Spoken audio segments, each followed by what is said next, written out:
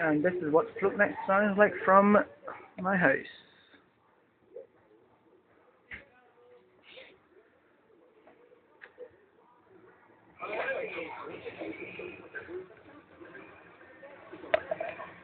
It's just over there.